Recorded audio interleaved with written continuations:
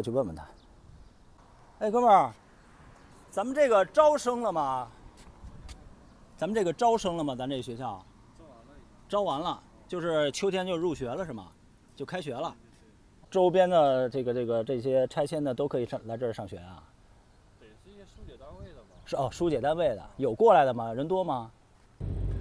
不知道他们在查什么，也不知道他们在怕什么，也不知道啊，他们是为了谁的安全在查，是为了北京的老百姓吗？我想应该不是吧。前几期视频，我用显微镜的视角参观了雄安高铁站，在雄安新区原住民的旧镇上深夜街头撸串，白天逛了大集，吃了当地特色小吃肉夹馍，接着来到了紧挨着泄洪大堤的雄东安置区。安置区内的回迁楼入住率较低。本期视频到高铁商务区、大学城、宣武医院以及雄安新区的核心区域启动区去看一看城市建设如何。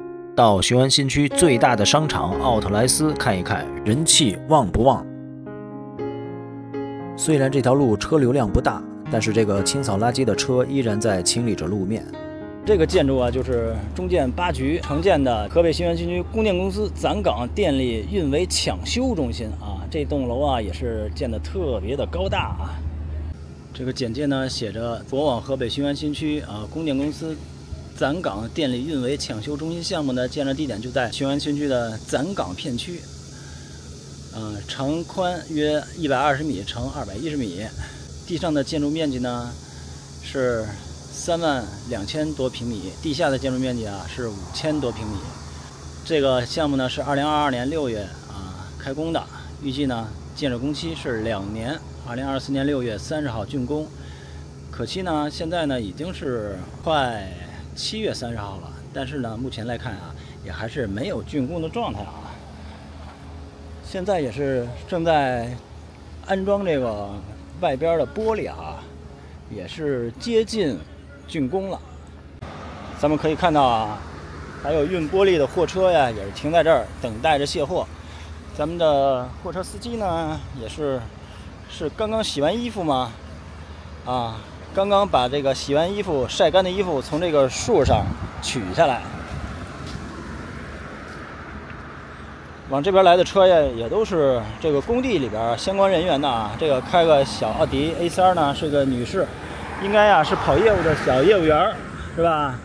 跑业务呢，是咱们普通啊普通人最便捷的啊成功的这么一条途径吧。咱们走到里边儿，这里边儿也是流着水啊。咱们走到里边儿往北望啊，北边呢就是咱们的雄安火车站啊，雄安高铁站。咱们穿过这片小树林儿，咱们就来到了。这一片也是看起来啊，咱们站的也是一个高地，就类似于一个堤坝似的啊。所以说，我就觉得啊，这一片一是不是防洪堤呀？看起来这个垂直高度也有五五米左右了，五六米了。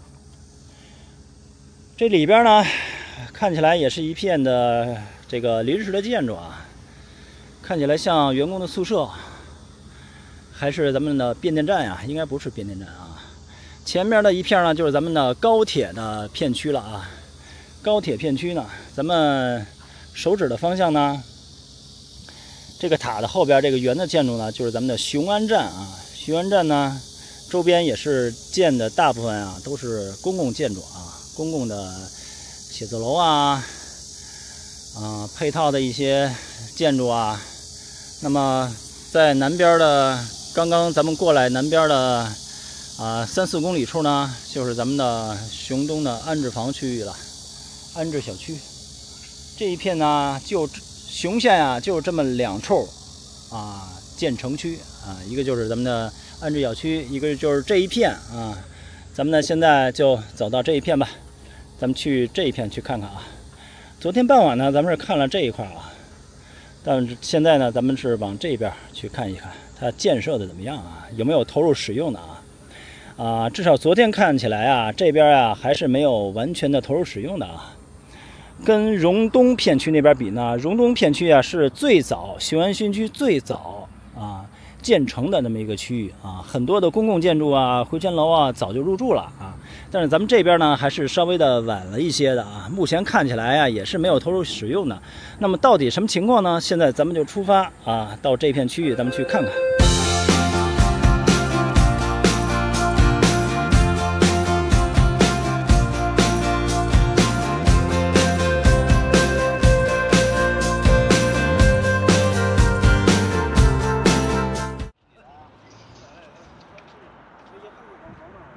好的，那么咱们呢，现在就在高铁站的片区啊，雄安高铁站的片区啊，这个叫中交第二航务工程局有限公司承建的中交未来科创城综合开发项目第六标段。这个楼呢，看起来啊也是商住混用的。这个中国交建啊，在这一片啊是承建了不少的项目啊。这边呢也都是处于啊施工状态啊。那么这一边呢，看起来也是。某个公司的总部集团的这么一个大楼啊，这边呢也是，至少外观上看起来也是盖好了。那么这一片呢，看起来也是居民小区的样貌啊。其实呀，这一片区域啊，就叫中国交建的中交未来科创城，它呢打着站城一体化的这么一个口号，站就是咱们的雄安站，城呢就是这个科创城啊，一体化的这么一个招牌。啊，其实呢，这个区域面积啊也不大，就这么几个街区啊。从这儿啊，这两栋楼到北边呢，就截止了啊。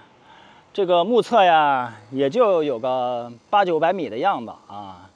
这一排呢，也是这个应该是中交集团的这么一个，对，这就是中交集团的标志啊。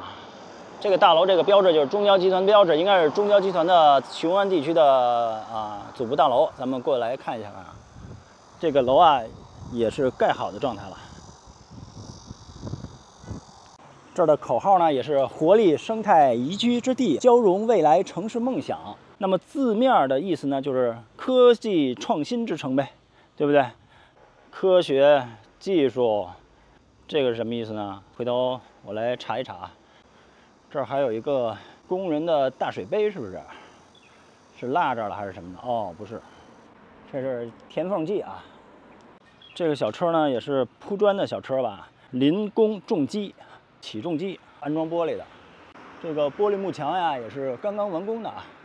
这个里边呢，也是正在施工啊，工人们也是正在施工。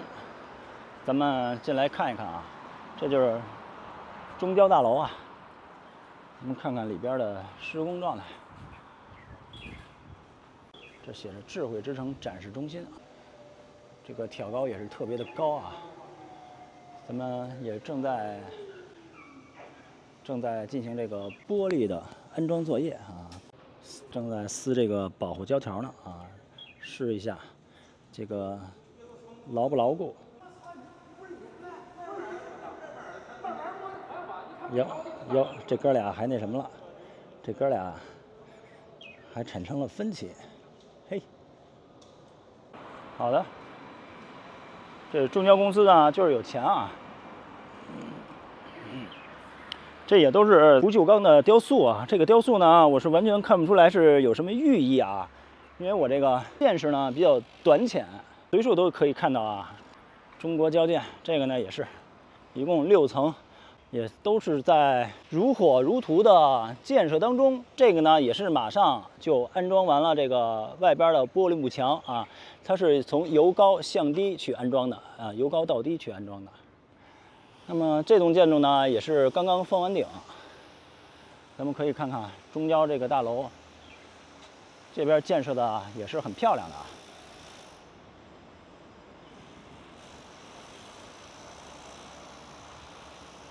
这个小吉普还是挺可爱的啊，很卡哇伊，小姑娘开呢是很不错的。嗯，这个是二号门，咱们看一下。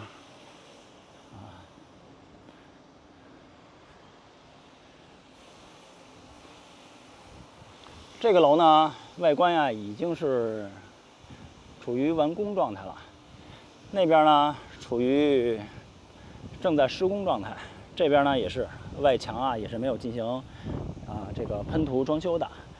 后边这几栋啊也都是啊，这个看起来啊也是一个比较高档的啊小高层的公寓啊。这边呢就是某个写字楼啊，某个公司的写字楼。为什么说是城站一体呢？咱们远处就可以看到这个啊，这个就是城铁高铁这个线路啊穿城而过，所以呢叫站城一体啊。高铁站跟科创城是融为一体的。这个区域啊不大，跟再往西二十公里，荣成县荣东片区启动区那边啊是规模上还是小了不少。走路啊，走个半个小时，基本上就能逛完了。这儿呢还有一个保安小哥啊，在这儿还在站岗呢。高铁片区呢，就是眼前看到的这么一个状态，大多数啊都是中国交建承建的啊。好的，朋友们，这个呢就是咱们啊雄安新区雄县啊攒岗组团高铁片区的这么一个状态啊，也是有正在施工的工地啊，主要是以咱们的中国交建集团啊为主的。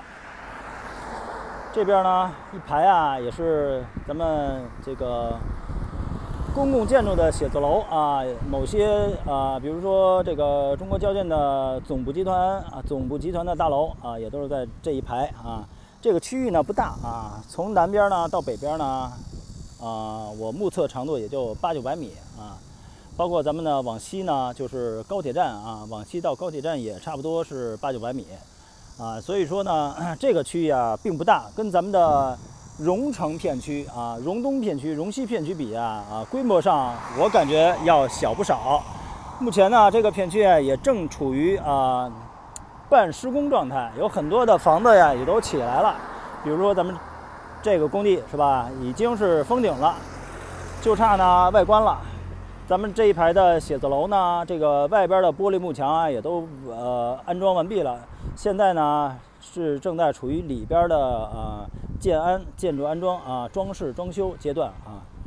那么咱们往南大概往南往南大概四五公里呢，就是咱们的啊雄东片区的安置房片区啊。那边的小区已经完全的建好了，但是呢入住率啊并不高。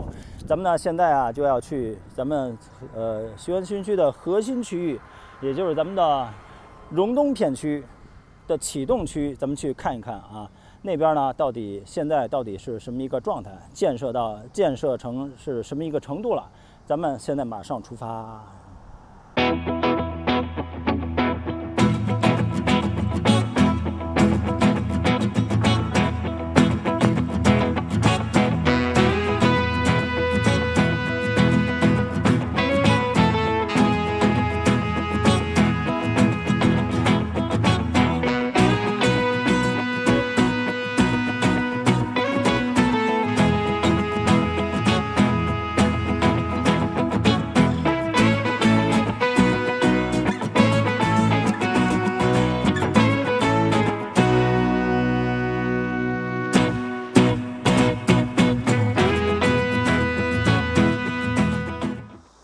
好的，朋友们，我呢现在已经到了咱们雄安新区启动区跟起步区啊第五组团北京林业大学雄安新区的校址了啊。咱们可以看到啊，也就是只是竖了一个这么一个牌子啊，竖了这么一个呃工地的这么一个牌子。咱们看看里边呢，也是一片的荒芜啊。林业大学雄安校区呢，啊，据说规划的占地面积啊达到了两千两百亩啊，可见啊这个这个面积啊也是特别特别巨大的啊。但是呢，咱们依然看不出来有任何的动工的迹象啊。现在呢已经是二零二四年七月底了，马上就八月份了。朋友们，我身后呢就是咱们北京科技大学啊雄安校区的校址啊，据说呢它的规划面积也是达到了。两千四百亩啊，咱们走进去看一看。好的，那么咱们走进咱们科技大学雄安校区的校址，咱们来看一看啊，占地面积达到了两千四百五十亩的新校区啊，建设情况是怎么样呢？哟，那依然跟隔壁的北京林业大学一样啊，也是大门紧锁啊，一片荒芜。在这个西南角呢也是有几个塔雕，不知道呢是不是这个学校范围内的啊？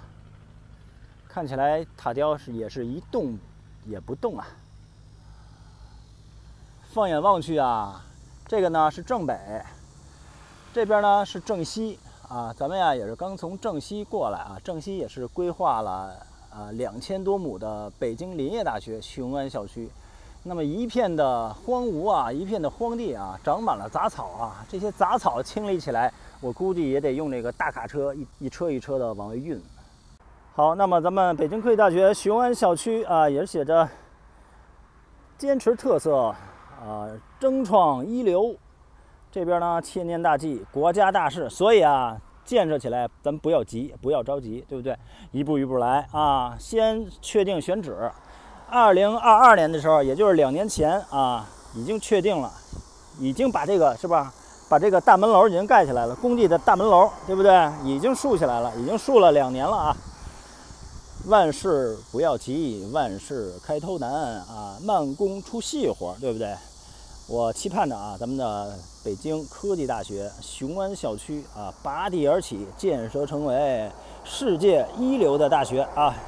比咱们本部啊，本部是在学院桥的东北角，北四环学院桥的东北角。那个校区啊不大，跟北航啊是斜对角，就在北医三院的正北边啊。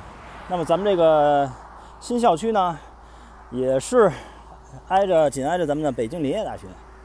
好的，现在呢，咱们就到了北京科技大学学院校区啊，西边一点儿，西边大概啊四百米、五百米的样子吧。这是一个起步区，农民工权益保障中心。那么这个承包单位呢，中冶建工集团。把镜头往里推一推，咱们看看里边工地是什么情况。咱们这一块啊叫起步区啊，第五组团啊，也是供热供冷燃气一期一批次工程项目啊，也是起步区 E A 四路这个供热燃气这个管道工程等项目啊。也是咱们的农民工权益保障中心，哎，咱们来走进来，咱们看一眼。那也是钢结构的啊，钢架构的这么一个建啊，一二三啊，三层的建筑吧。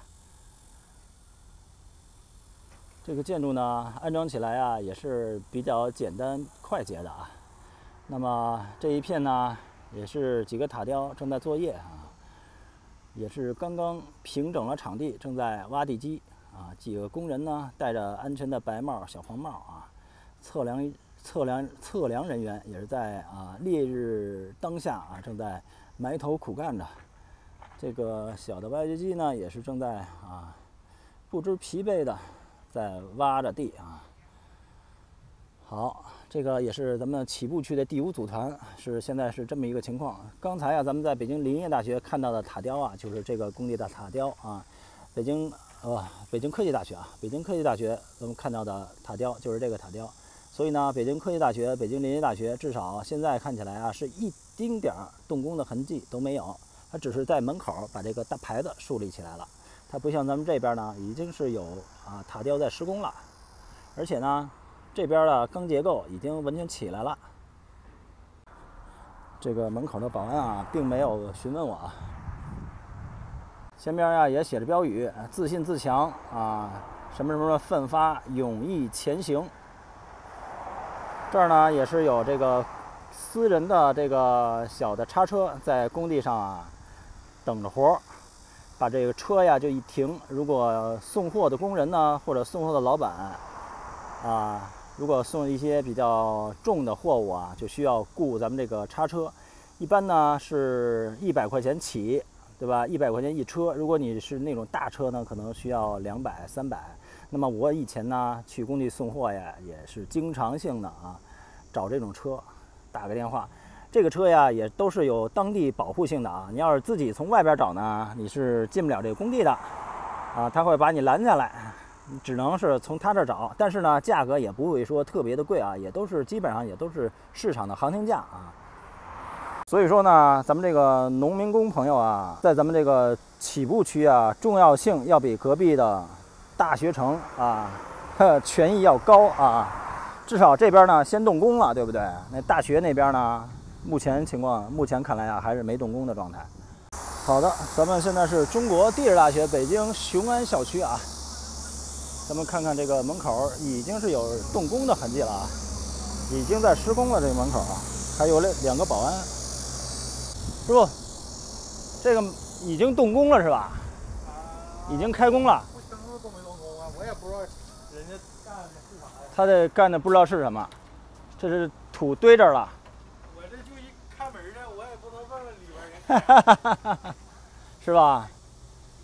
他们干啥也不带跟我讲。也不知道啊。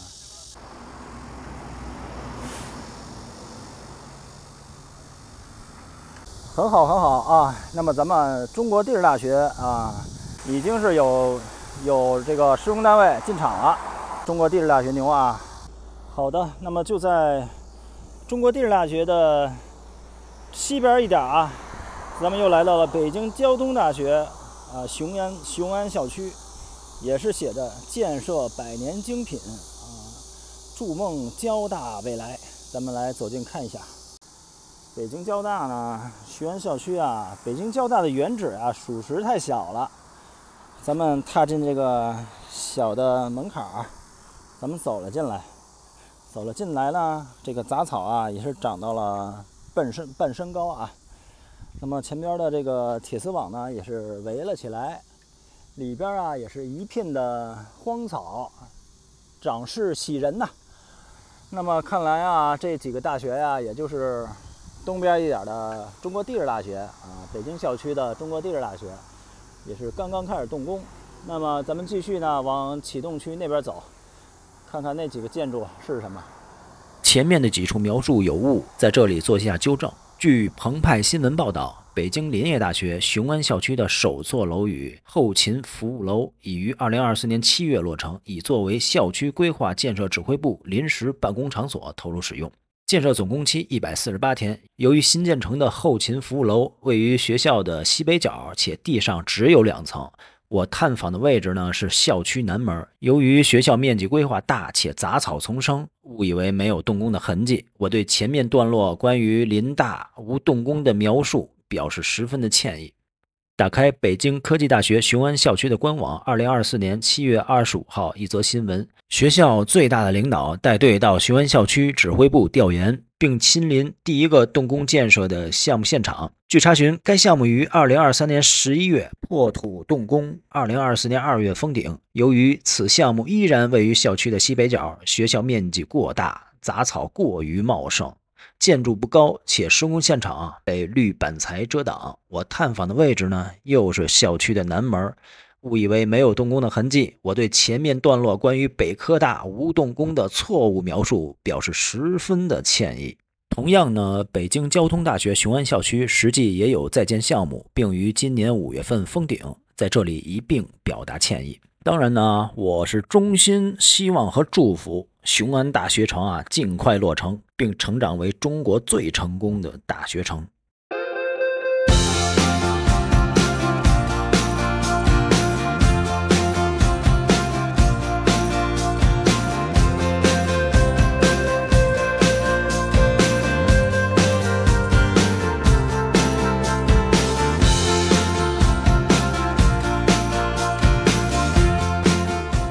现在的位置啊，就是在雄安宣武医院的停车场这一侧啊。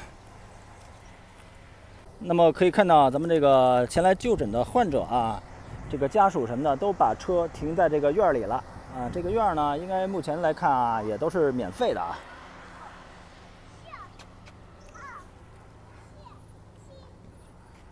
好的，咱们往前走，进到这个医院来看一看。这个北京的宣武医院呢，大家也都是耳熟能详了啊，也是北京的著名的一个医院啊，跟协和是齐名的。最牛的就是神经内科啊。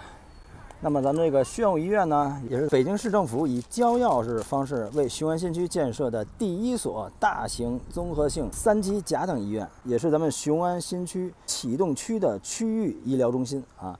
那么这个是什么时候投入使用的呢？是二零二三年十月十六号，雄安医院啊，雄安宣武医院正式的运营了。咱们也可以看到啊，也是有好多的患者啊来这边就诊。可是呢，保安呢在这个路口啊是拦上了，咱们患者这个车呀、家属什么的，车是开不进来的，是原则上啊是不让开进来的。那么很多的人呢都是停在前边的空地上了。目前看来啊，宣武医院这边呢还是未投入使用的。这这边呢是西侧，这边主楼呢，啊已经是投入使用了。咱们看一下这个门诊大厅啊，好，也是有车是可以进来的啊，也是有车是可以进来的。但是这里边是不是收费呢？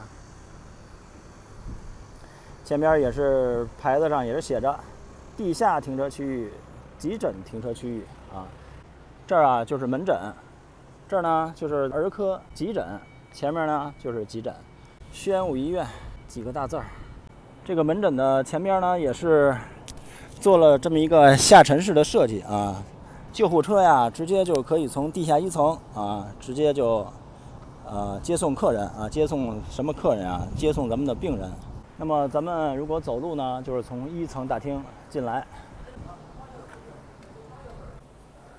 一层呢就是体检中心、中医科学、康复医科学；二层呢就是神经医学中心；三层呢是内分泌与代谢中心、重症医学学科手术中心；四层就是耳鼻喉眼科、皮肤科、口腔科啊，一共是四层。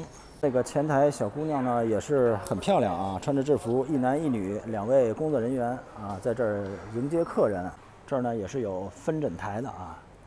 两位工作人员正在沟通交流。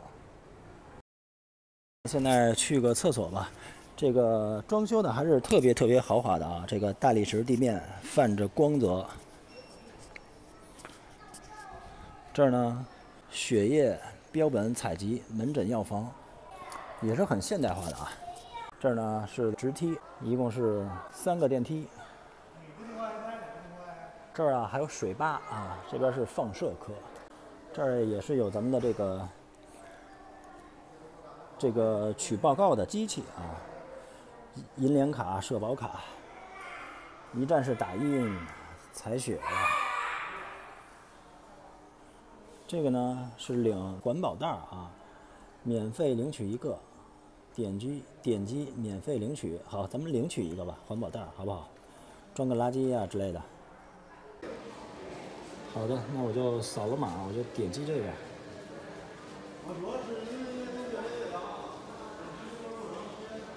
同意。按住两秒。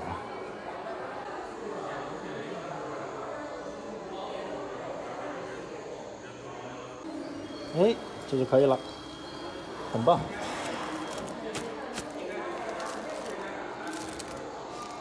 咱们再领一个啊。这回呢，我扫的是支付宝，咱们再领一个，免费取袋，还享权益。这就让你下一步投保了，那咱不能投保啊，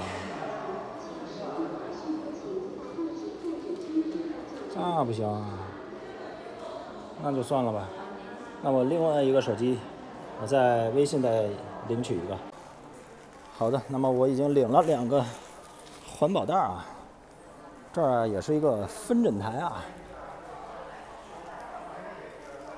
这是骨科换药啊，外科换药，麻醉门诊、营养科。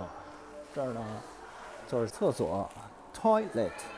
哇，咱们这个厕所也是整洁明亮啊，一点异味都没有。看看咱这个。还是箭牌的啊，挺豪华的啊。再看一下咱们这个里边，蹲便、坐便，哎呦，也是相当的不错啊。这还有一个报警的拉绳啊，报警的啊，这么一个按钮啊。玻璃外边啊，也是一个小的中庭，上边呢有几根假的竹子，地上呢是草坪啊，也是长了好多的杂草。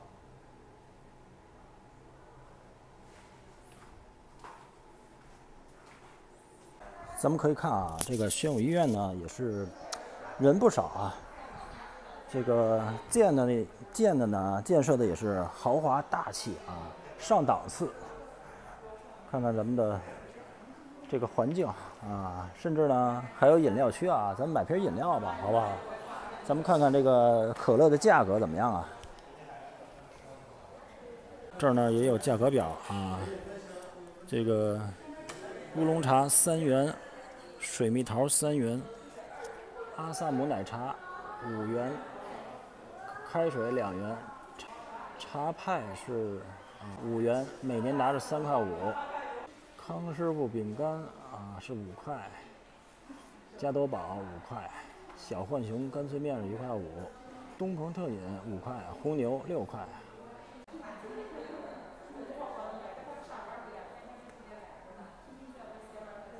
虽然说呀，医院要少来，但是呢，咱们这个医院啊，绝对是一个避暑胜地啊。如果家在这附近呢，啊，可以，说实话啊，真是可以来这儿蹭蹭空调的啊。这个环境呢也是相当不错的，啊，这儿开业呢也将近啊将近一周年了啊，是去年十月份开业的，啊，还有两个月呢就达到了一周年了。这个呀也都是自动门啊，一出来呀，一股热浪就袭来。我只有喝这个咱们冰镇的可乐啊，冰镇的可乐为什么喝这个可乐呢？因为它带有糖分啊，而且带有一定的刺激性啊，刺激咱们的舌根儿啊、舌头跟嗓子。那么如果你喝白水啊、喝矿泉水，你是不解渴的，而且越喝就感觉你体内有一些电解质会流失的。所以呢，如果特别特别热的情况下，一定要喝啊，喝这些啊带有刺激性气味的这些气体，比如说这个可乐、芬达，或者啤酒，或者那种电解质水啊。夏天咱们一定要避暑，该喝凉的咱们一定要去喝凉的啊。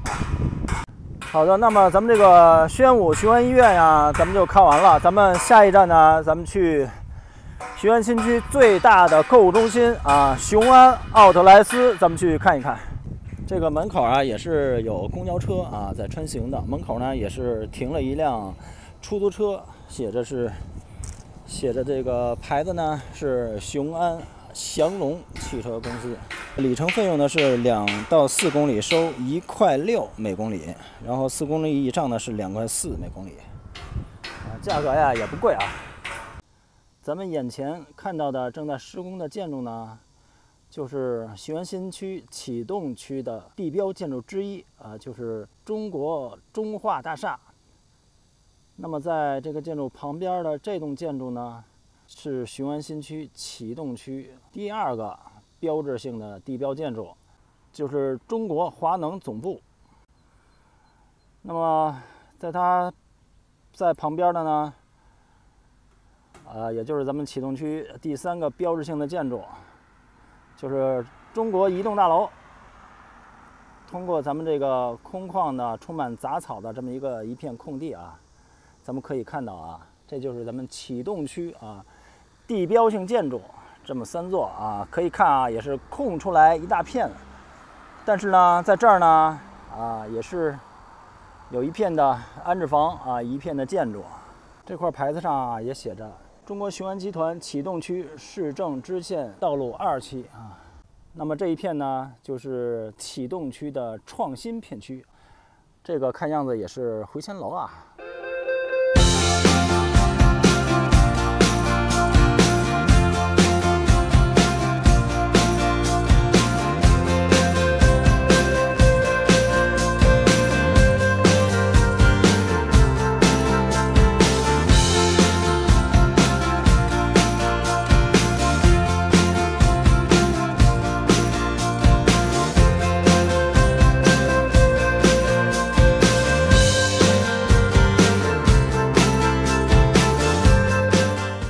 就是位于雄安新区荣成县起步区当中的启动区的建设工地这么一个场景。这条路呢叫勤学路，没有错。这个附近啊是有一个学校的，是什么学校呢？就是这一所学校，这一所是什么学校呢？甚至比呀一些大学都出名。咱们走进去看一看啊。没有错，雄安史家胡同小学也是北京史家胡同小学在雄安新区的分校。这个学校呢，在北京是特别出名的，它位于北京市的东城区啊。那么，呃，这个史家胡同小学呢，在北京小学的排名当中呢，也是排进了前五。所以啊，这个校区啊，看起来也是。特别的大的啊，一直到这个前边的十字路口的这一侧，全部都是咱们史家胡同小学啊这个校区。哦，这门口啊还有一个哥们儿在看门呢。这呢还有一个大大的史家这么一个标志啊，这个标志设计的也是啊，二字融为一体了，史跟家融为一体了。过呢，怎么看着有点像冢啊？哈哈。好，咱们来登上这个大的铁铲子，看看前边的这个建筑呢，是中国卫星网络大厦啊，总部大楼啊，这么一栋特别现代化的一个扁平式的建筑。眼前这栋造型别致的建筑，就是雄安新区一号央企总部大楼，中国新网也是中国第一家卫星互联网公司。中国新网是首家注册落户雄安的央企，所以被称为一号央企总部。该大楼坐落于雄安启动区互联网产业园。二三年十二月竣工。新王总部大楼建筑造型比较独特，像五朵花瓣绽放开的造型，以星耀华夏、花赞雄安为设计概念，打造立足雄安、面向未来的办公建筑新模式。视频的尽头呢，咱们拉近一看啊，这个正在施工建设的就是中国中化大厦啊，这个。大楼也是正在建设当中的啊，也是位于启动区的中心的区域啊。目前咱们现在的位置呢，就是启动区的中心位置。这个史家胡同小学的西侧呀，就是北京四中的雄安分校。现在呢，去那边啊，咱们看一眼。那么这个学校里边的也是有工人在在打理卫生的。当然啊，咱们这个小学呢啊。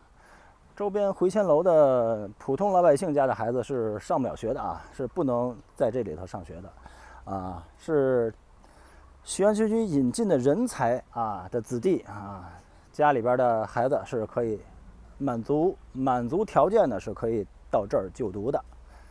所以呢，这个史家小学呢，这个分校是跟当地的老百姓的孩子是没有任何关系的啊。这个路边呀，也是停了这么很多的叉车啊，起重机叉车。这儿还写着“我们支持巴勒斯坦人民，我们来自中国”。那可以把我，呃，排除掉吗？那巴勒斯坦人民是可以支持的，但是不要支持巴勒斯坦那个什么巴什么什么法塔赫组织呀？嗯，不是，那那叫什么？那叫那那叫哈哈马斯组织啊，那是一个邪教啊，恐怖组织。可以支持人民，没有问题啊。这儿呢都是包天包月包年啊，一到十吨的叉车，三到七吨的叉车啊出租。好，这个咱们这个中国网络、中国卫星网络集团中中国网络卫星集团这个大楼啊，真的是很气派啊，像什么呢？说不出来像什么啊？咱们得啊，这种楼的设计啊，咱们得从空中去看啊，咱们从地面上是感觉不出来的。那么这里边建设的建筑呢，就是国家电网能源互联网产业中心。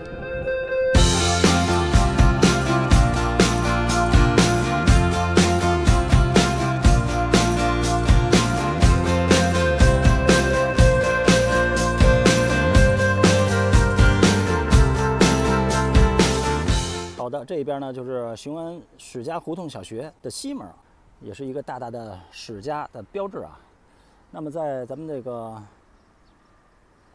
西侧呢，就是咱们的北京四中的校址啊。这边啊，也能看得见啊，一是一个标准的啊运动场，也是铺着人工的草坪，还有个保安啊，过去问问他。哎，哥们儿，咱们这个招生了吗？咱们这个招生了吗？咱这学校？招完了，就是秋天就入学了是吗？就开学了。哎呦，什么时候开始招的呀？大概？哦，不太清楚。哦。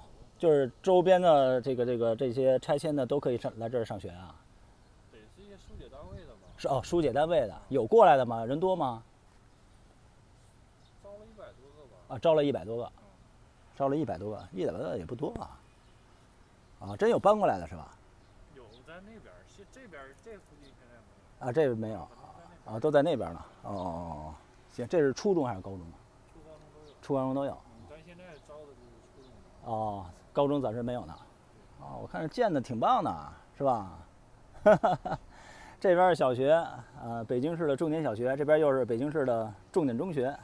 哈哈挺啊，还有幼儿园，是北海幼儿园是吧？嘿，这多棒啊，是吧？好多谢多谢啊，哎，所以说这是配套的啊啊，那么已经确实有有单位啊，已经有职工单位的家属进来了啊，疏解单位的已经是过来了。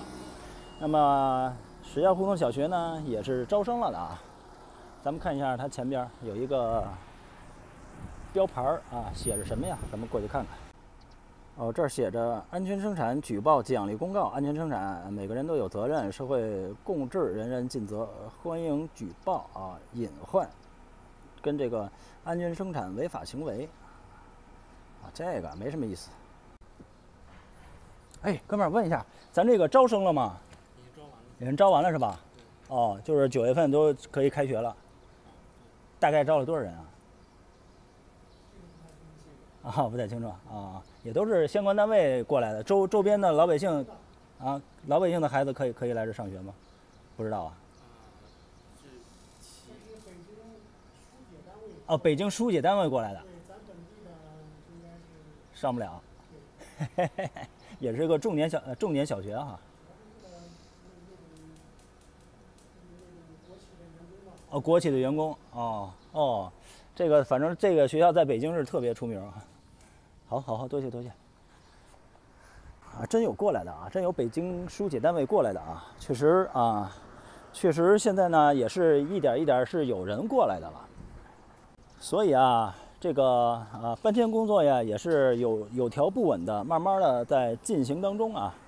咱们呢也是期望啊，咱们这个雄安新区呢也是发展的越来越好啊，至少咱们的一个小学跟这个中学啊都是有招生的，中学是招生了一百多人，只是初中部啊，高中部还没有啊。咱们这个史家小学呢也是招生了的啊，九月份就开学了啊，具体招了多少人，刚才那个保安那个大哥啊，他也不知道啊，也都是说这个。啊，都是北京疏解单位的家属的孩子啊，能上这个小学，能上这个中学。啊，那边呢还有个北海幼儿园啊，所以说啊都是配套的啊，这个政策也是相当的不错的啊。能直行，所有车道都可通行。明白地处有闯红灯拍照，请走最右侧车道。那么这个就是咱们的北京四中啊雄安校区呃的校址南大门啊，这个盖的呢也是特别的气派啊，特别的好。周边呢就是咱们的回迁房啊，咱们南边就是咱们的回迁房。这个呢也是位于荣成县起步区当中的启动区的中心区域了啊。而且呢，这个九月份是开学的，已经招了一百多人的学生啊，都是初中啊，目前啊还是没有高中的啊。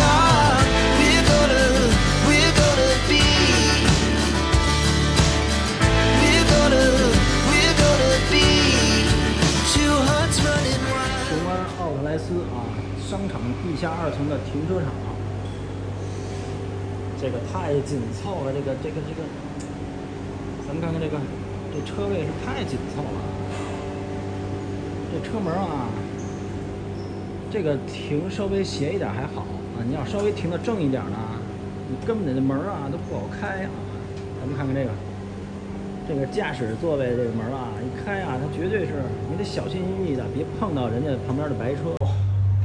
这个电梯啊，也是相当的相当的棒啊。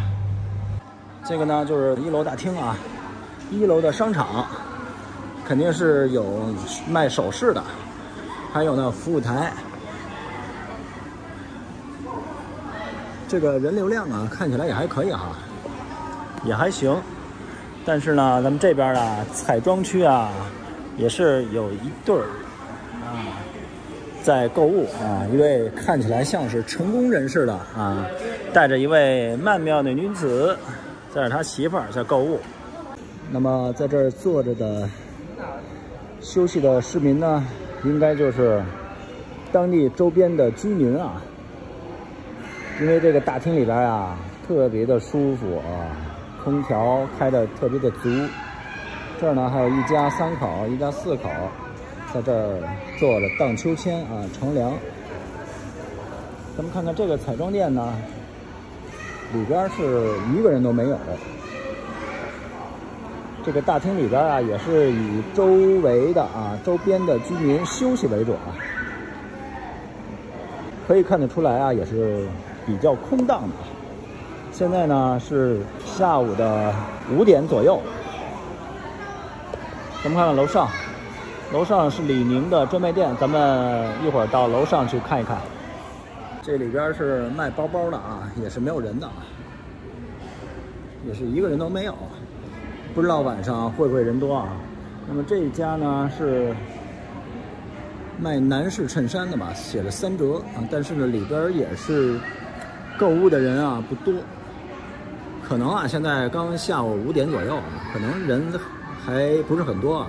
今天也是礼拜三啊，咱们看看，基本上呢都是带着小孩过来，一家人啊在这儿乘凉的啊居多啊，购物的还是不多的。如果现场感受一下，就能感受出来了。这个一个门门里门外是两个温度啊。这边呢就是特别的闷热，咱们可以看看前边的这位。前面的这位呢，推着小孩的婴儿车啊，应该是老二，应该是个男孩啊。前边是他的大女儿在走，这位年轻的妈妈呢，也是穿着短裤，露着啊比较白皙的腿，然后推着婴儿车回家了。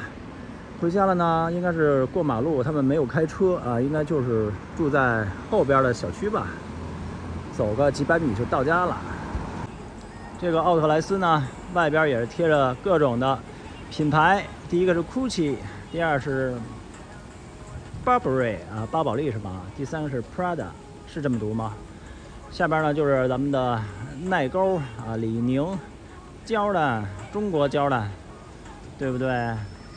这儿呢就是六福珠宝，周大生。最下边一排啊就是餐饮店。咱们看看，这是荣东片区的城市建设啊，已经是建成区了啊。城市建设的呢也是相当的漂亮的，公交车也是在运行的，但是车上的人还是不多的，也是零零零零散散有那么几个。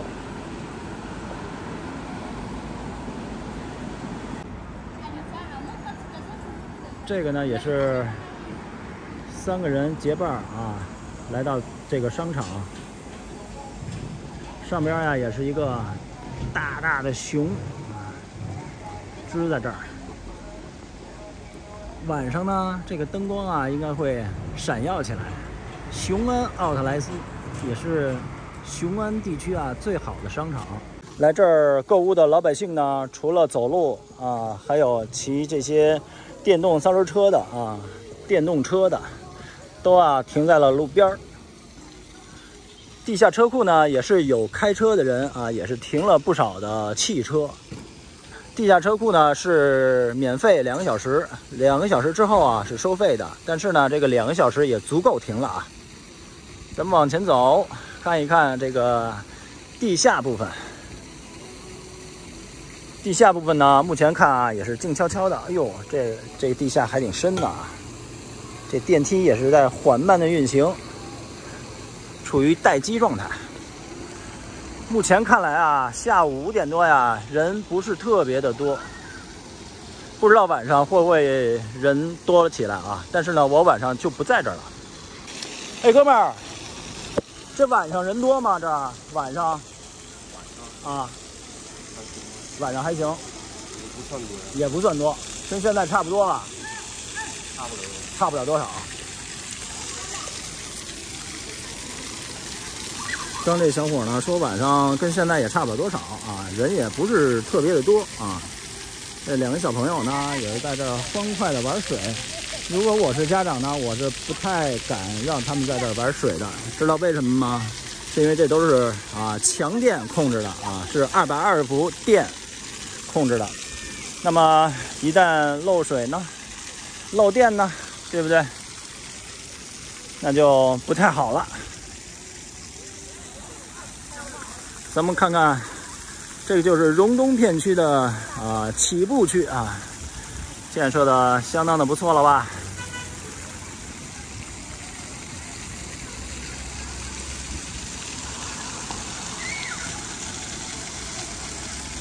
这边啊就是耐沟啊，咱们走进耐沟去看看。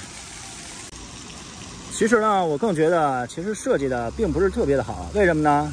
这些电瓶车呀，也都是停在了路边啊，也是影响了交通啊啊，多多少少啊，我觉得应该在这个人行道上啊设置一些停电瓶车的地儿，对不对？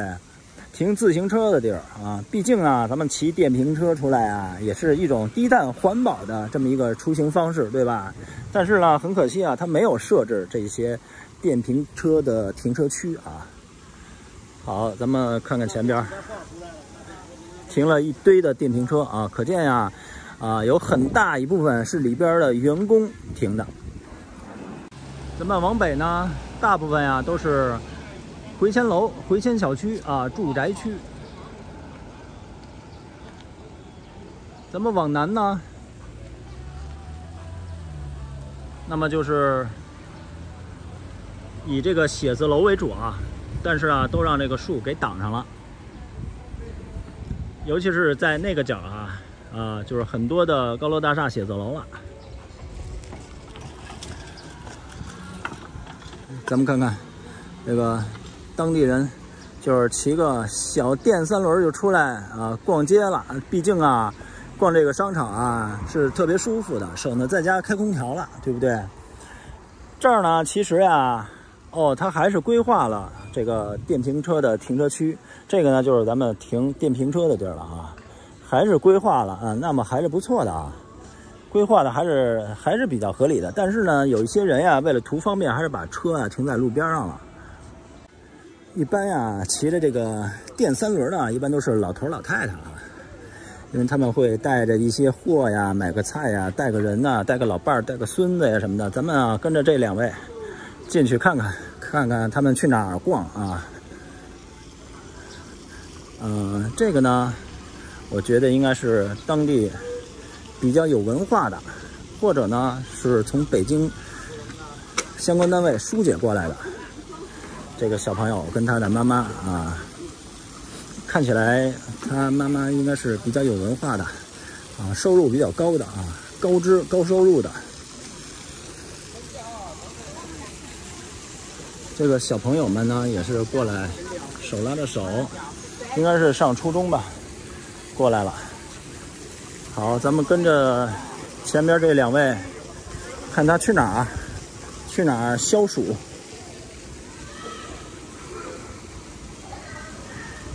热火篮球，哟，他们要上楼啊！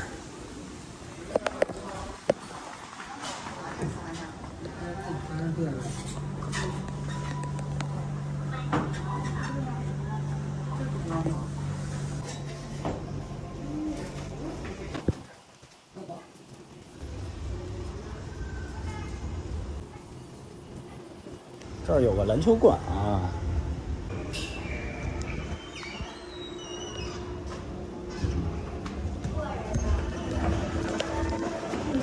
这个是热火篮球培训中心啊，这个老头老太太呢，应该是过来接孙子来了啊。这他的孙子在这儿练篮球呢啊，小朋友们，咱们看一下里边的都是小朋友。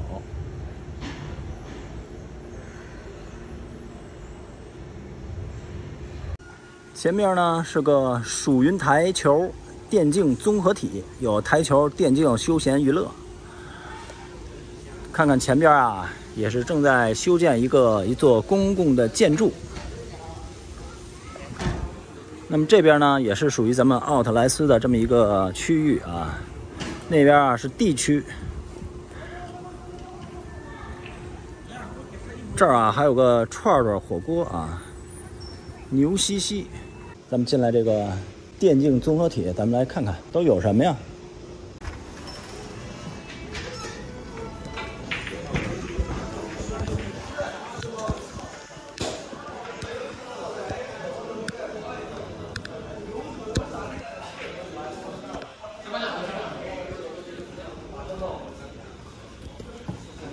海报到，海报。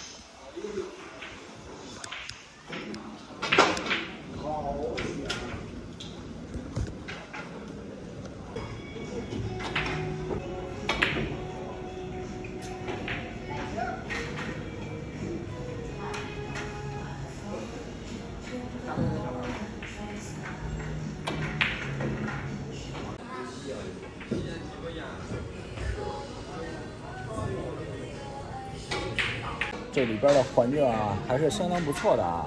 还有纸巾啊，咱们拿一个纸巾，擦擦我脑门的汗吧。这个外边流了好多汗，可以看到外边马路上的风景。那么一共是八台啊，八个台球案子。那么目前啊，只空了两个。所以啊，这个电竞房啊，电竞综合体，这人啊还是不少的，包括隔壁的这个电竞中心，也就是网吧啊，人也是很多的。这儿呢应该是个 VIP 室啊，这是单独的这么一个，还有沙发。嘿，这儿呢还有个还有个老虎机，这多棒啊！这空调的风也特别的凉快啊。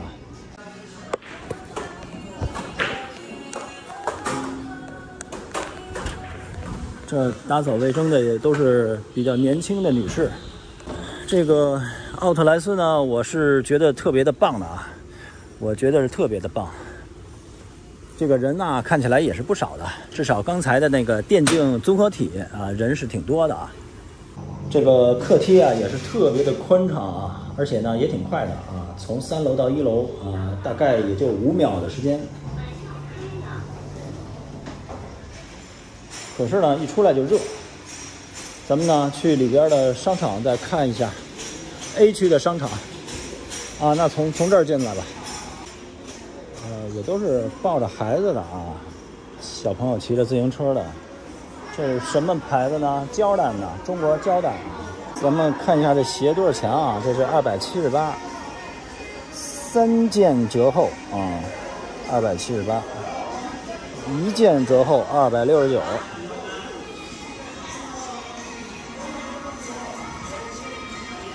这个是五折，原价是五百多，现价是两百七十多。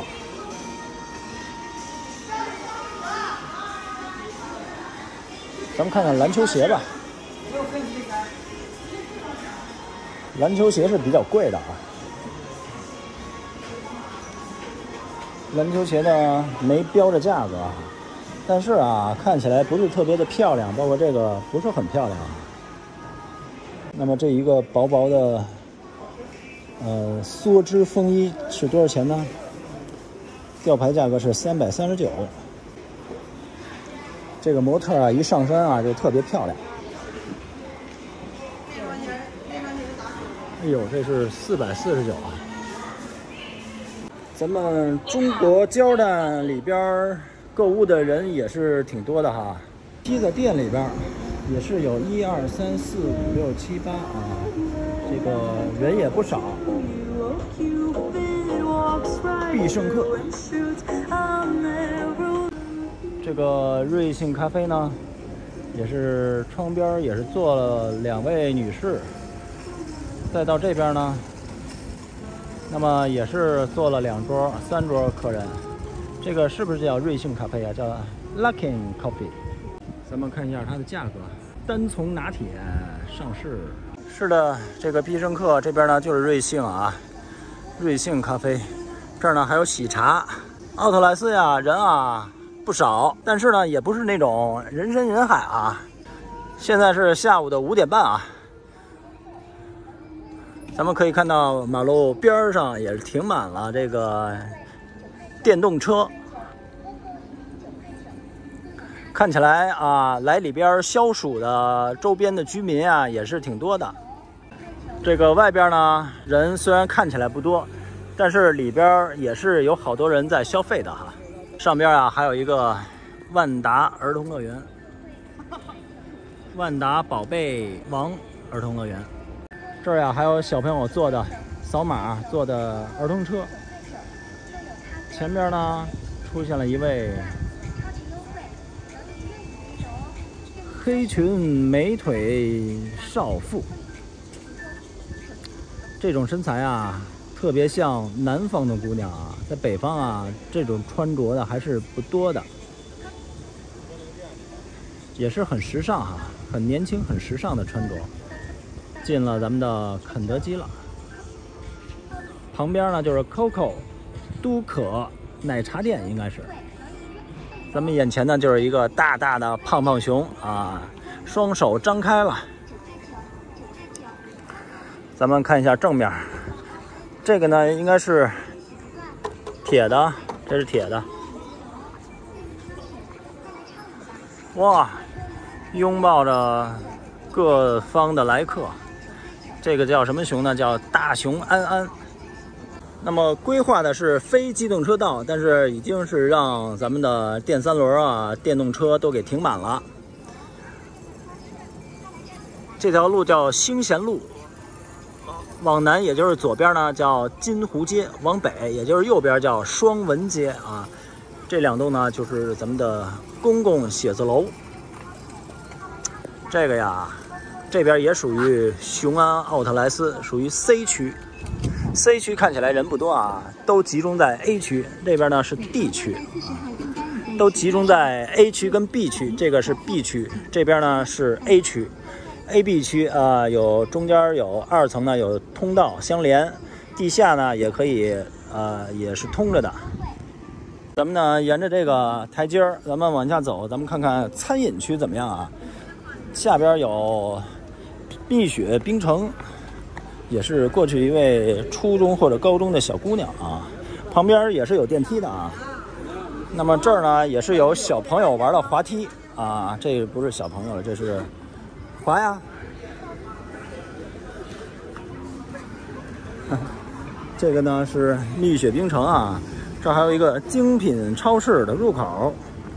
蜜雪冰城也是有小朋友在购物的。这个超市呢看起来也是比较大的。哎呦，一进来呀也是特别的凉快啊！我这一会儿凉一会儿热，一会儿凉一会儿热，别是吧？来来回回的给我弄感冒了啊！它这个凉啊是特别的凉，然后呢外外边呀又是特别的热，这叫梦想街啊。梦想街呢看起来没人呢，这这边看起来是没人啊。咱们看看这个超市啊，结账的人也没有排队的情况，里边的客人呢也是有，但是呢不是特别的多啊。有客人不是特别的多，但是呢也不少啊。咱们可以看啊，咱们就不进去了。就在外边看一看就完了，也是有的啊。因为咱们这个雄安奥特莱斯呀，是雄安地区，是雄安地区一个比较大的购物中心，所以呢，周边的人啊都喜欢来这儿逛，所以这个人呀是挺多的。我个人觉得是挺多的，虽然有的区域人不多，但是呢，因为这个购物中心挺大的。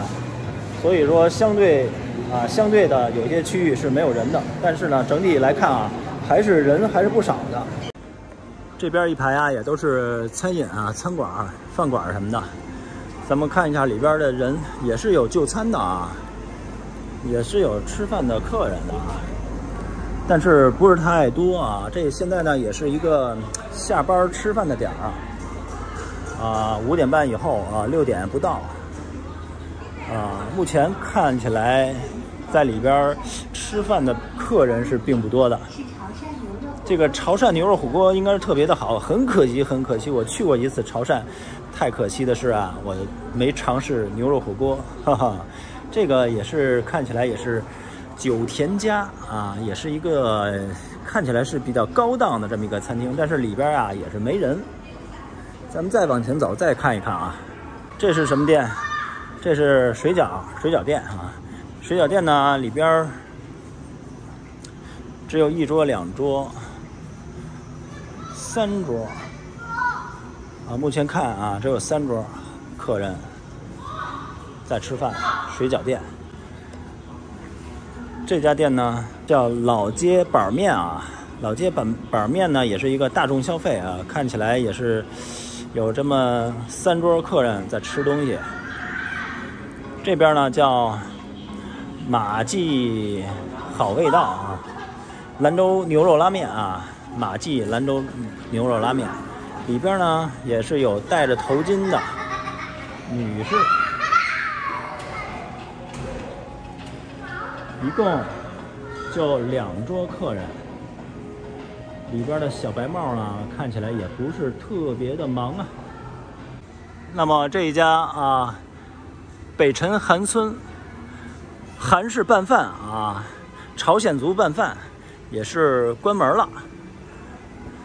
这儿呢还贴着这个雄安呃中电建这个置业管理有限公司关于这个啊北辰韩村履行合同的催告函，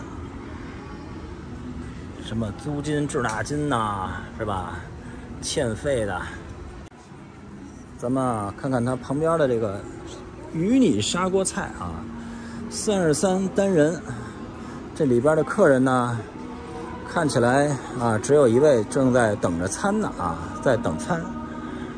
这边的呢，这个是什么呀？元宝大馄饨，大馄饨里边呢也是空空荡荡啊。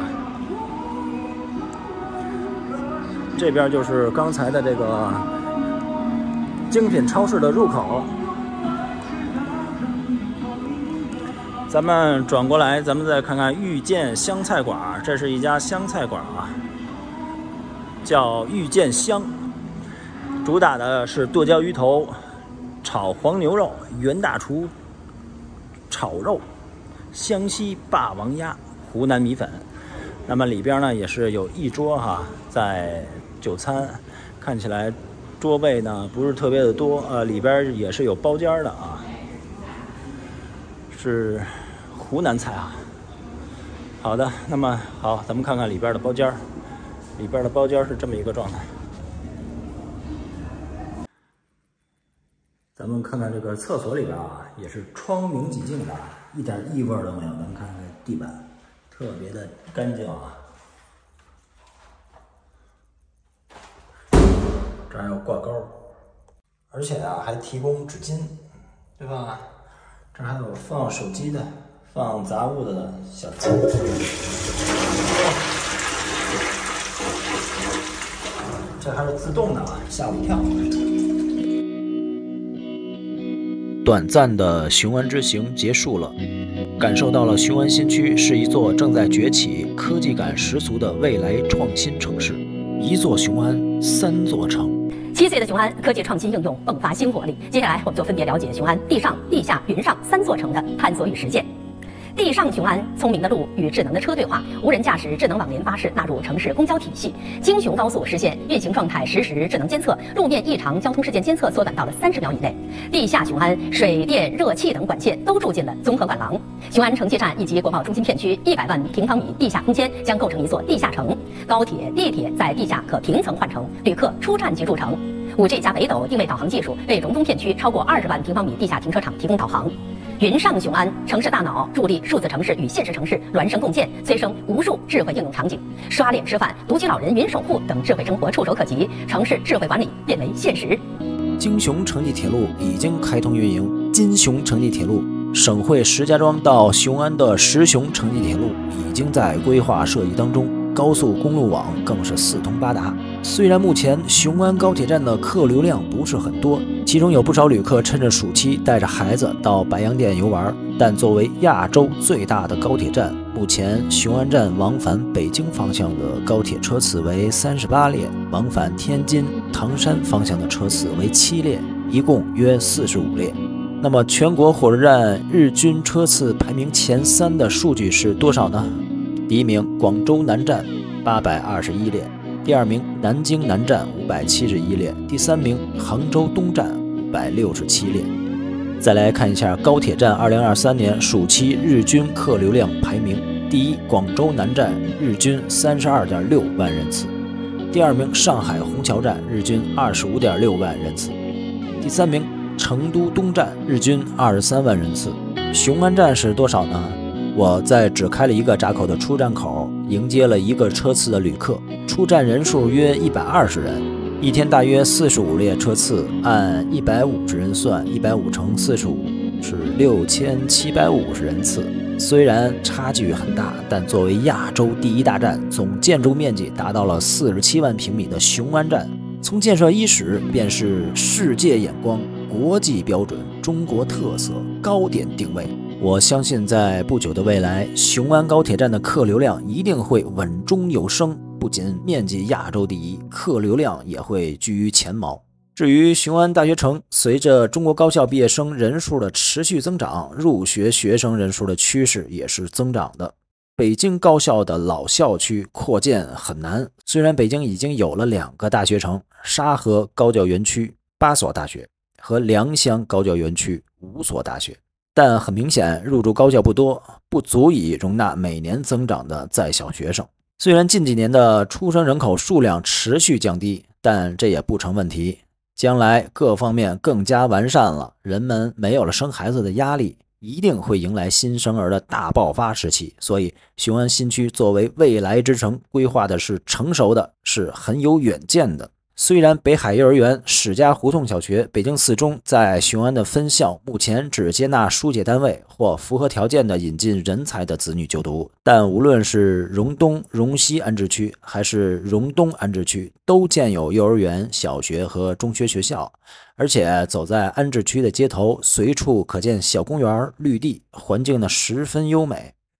至于人们担心的地势低洼会不会有被淹的风险，其实呀，完全不必担心。设计者们早有对策，在雄安站南侧，紧邻雄东安置区北侧，建设了新盖房水利枢纽，拓展加固了分洪大堤，分洪河道最大宽度超过两千米，大清河北支洪水通过新盖房枢纽，经溢流洼进入位于大清河中下游的东店，河道全长三十一公里。水利枢纽具有泄洪、灌溉、补水、泥沙调节等综合功能。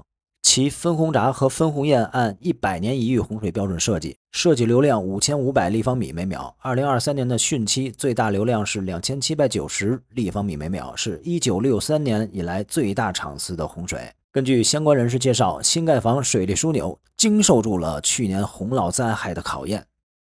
在雄安新区一路走来，一路都是惊叹和赞叹，气势宏伟的车站，修长的跨泄洪堤大桥。建成区的高楼林立、花园绿地一般的城市，雄安新区是一座新兴之城，走的是人类历史上没有走过的发展道路，拓展的是中国式现代化的发展空间，正朝着建设妙不可言、心向往之的未来之城稳步向前。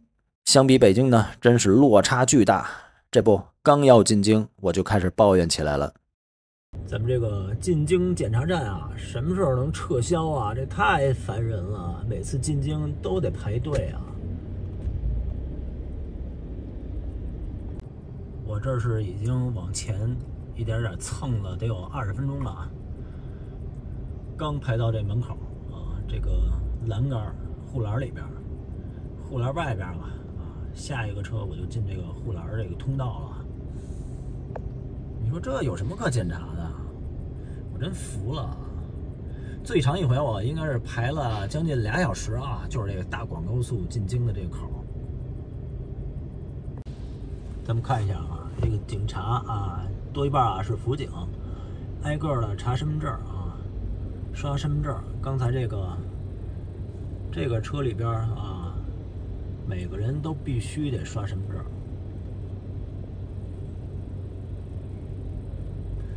不知道他们在查什么，也不知道他们在怕什么，也不知道啊，他们是为了谁的安全在查，是为了北京的老百姓吗？我想应该不是吧。这个呀，都是辅警啊，大多数都是辅警在查